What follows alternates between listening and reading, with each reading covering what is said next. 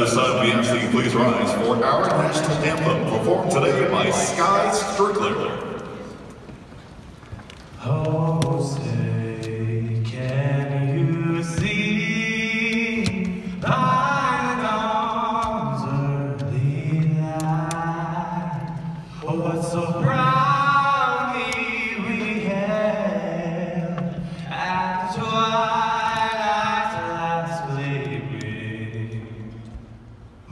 thrust your eyes and bright stars.